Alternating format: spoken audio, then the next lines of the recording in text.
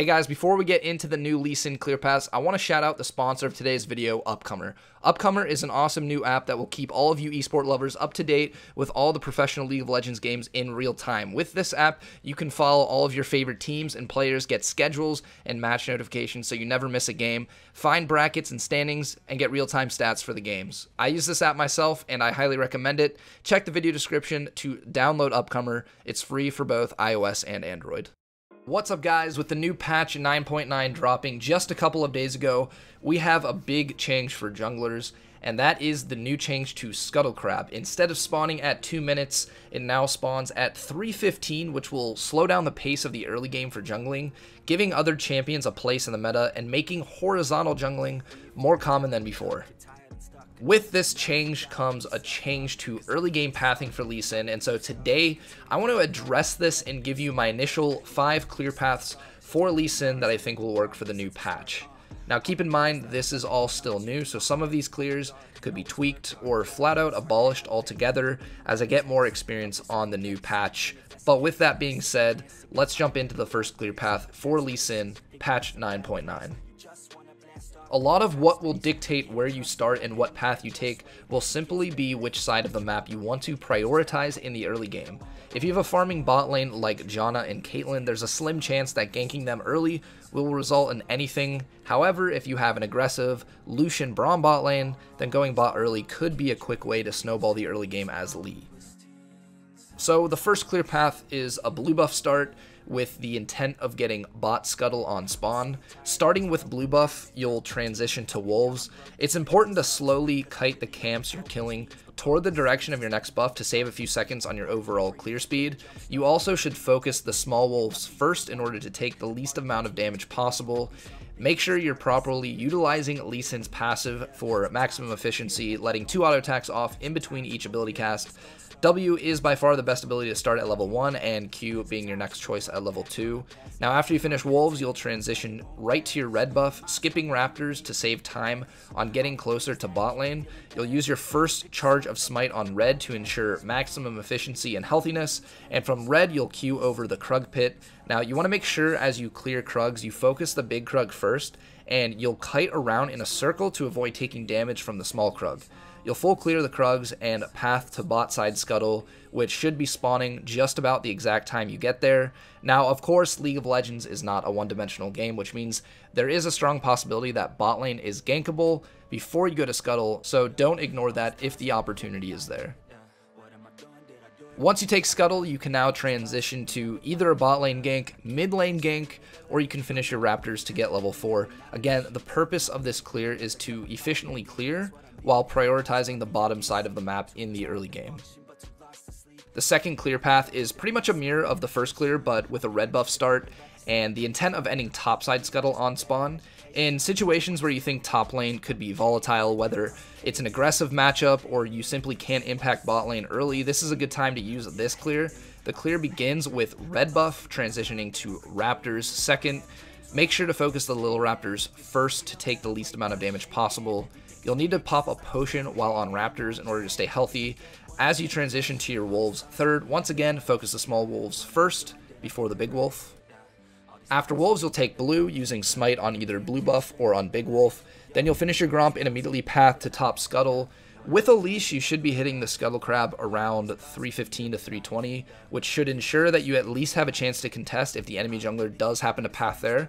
It's important to save your second charge of Smite for Scuttle in the event that you do need to fight for it.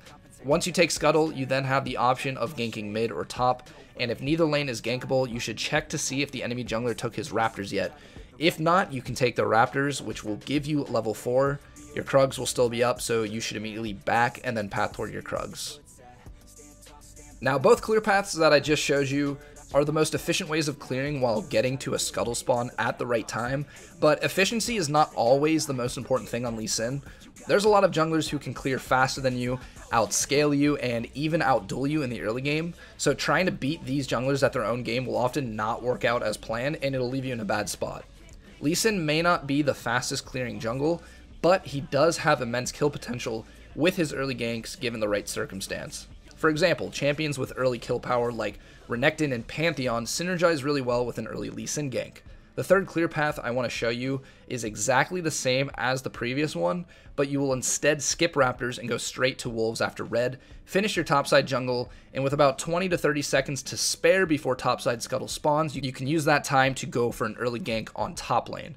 Again, it's your job to dictate when this is appropriate, which comes down to knowing matchups. But I think having different clear paths in your arsenal for different situations is important, so I did want to explain that.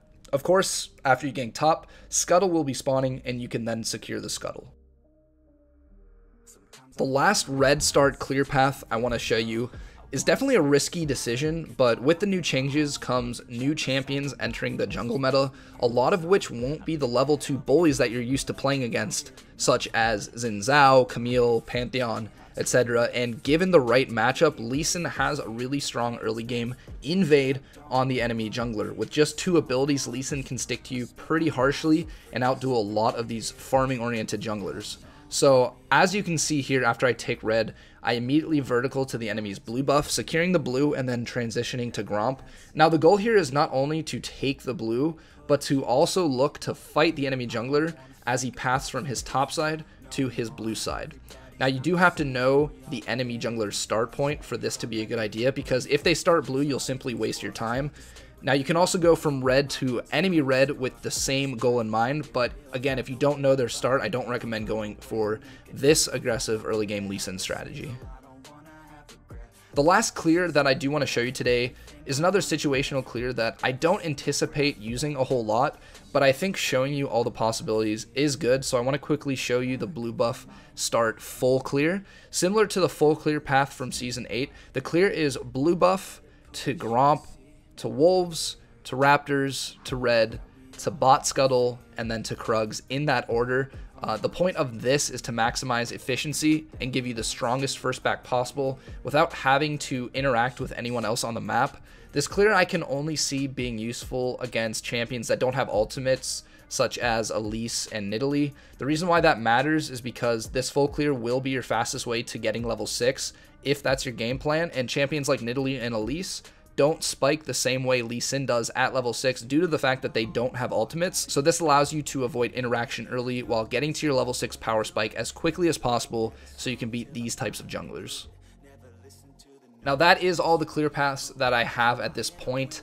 I haven't really had the chance to really experiment with the changes enough to say with certainty if all of these paths I've shown you today are viable. This is simply my first thoughts after seeing the changes to Scuttle, so take everything with a grain of salt that you've heard here today, and definitely do some experimenting of your own to see where your highest rate of success lies. That is it for me today. I do appreciate you guys stopping by to hear what I have to say. If you're new here, I'd appreciate a sub to my channel. If you enjoyed the video, a like always helps. But that is it for me, and until next time, guys, I'll see you later. Peace. Before I roll my outro, I wanted to just catch up with you guys because uh, I haven't in a while, and in the past, I would just make a whole video for something like this, but I think it just fits better at the end of a video. So first of all, to all of you who have taken the time to follow my Facebook stream and actually come to a few streams, I appreciate it more than you know. My stream has grown to about triple the size in just a few months since I've started, you know, hard promoting it on my YouTube channel. So if you haven't yet done that, as always, I'll leave my Facebook live stream link down the description for you to come follow me. But beyond that, I did just want to talk a little bit about my YouTube channel, which I want to make a top priority, but I've just been so burnt out and almost feel like it's hard to keep uploading interesting videos at this point. I did lose my editor last month which is why I started uploading full gameplays pretty much as the norm. But I recognize that a lot of why some of you do watch me is because of the pack filled Lee Sin plays in a short, easy to digest video. You know, quick entertainment doesn't require you to spare so much time to me. So, bearing that in mind, I plan to go back to editing my own videos and doing just that with full gameplays kind of being spread out throughout to make sure I can still upload five days per week. Now, at the moment, I feel like my content has become pretty much just stream highlights with some fun Lee Sin builds every once in a while, which is obviously something that I can continue to do forever as long as I'm streaming. But I do kind of crave the ability to make videos that aren't always 100% related to Lee Sin or not even video game related for that matter, but it has almost become a bit of a pipe dream to me at this point because I know that if I'm struggling to get my viewership back to where it used to be while uploading strictly Lee Sin content, how can I expect viewership to go up once I start something completely different and new to my channel? Now, I do plan on uploading a new Lee Sin cosplay of Pool Party Lee Sin sometime within the next month, which is something I'm super excited about. But my content ideas list has pretty much been dwindled down to the point where I'm scrambling for uploads every week and shit posting a lot to stay in the algorithm that YouTube has made ever so stressful for YouTubers. I pretty much have this video crisis every year, and I usually get flooded with people saying, you know, make whatever you want, upload coaching videos or, you know, try other champions. And while that makes me feel good, I know that it's just not that simple. When I upload other champions, it very rarely gets views unless I clickbait the hell out of it, which is something I know is frowned upon. And that actually brings me to like the last thing I want to talk about and just get off my chest you guys on an actual video. And that's about some of my titles where, you know, I put number one Lee Sin NA or rank one Lee Sin, whatever. And it always attracts haters or randoms to just leave comments about how I'm not actually the best Lee Sin. I'm not even close to being the best Lee Sin, yada yada, or how I'm just clickbaiting.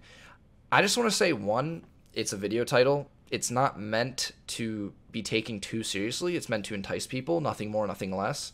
Don't take my titles so seriously. It's not me being overly arrogant. I'm just experimenting with new titles to see what the views will be like. And also, having confidence in myself as a Lee Sin player is a positive thing, not a negative thing. So keep that in mind the next time you call me out for putting a title like that. That's all I really wanted to get off my chest. Uh, I guess the reason I'm putting it into this video is to spark discussion because even though I rarely use the ideas that are given to me in the comments, there's always some thought provoking elements things that I notice when I do read the suggestions and ideas that you guys give me. So I'm just hoping that reading them will, you know, spark some ideas for me moving forward because I really do have high hopes for this YouTube channel and I don't want to see it lose progress. With that being said, guys, thanks for tuning in and listening to me today. That's it for me, and I will see you in the next one. Peace out. I'm willing to die for this shit. I'm ready to flip and end up in prison the rest of my life for this shit. So my mama ain't want me, she got an abortion, I end up surviving this shit. And if I want a son, I ain't got the money, I'd probably be robbing this shit. Don't know how much I cry for this shit. Said I'm willing to ride for this shit. You know murder's my hobby, inside of my closet's a bunch of dead bodies and shit. Niggas said it, I'm cursed, cause I go to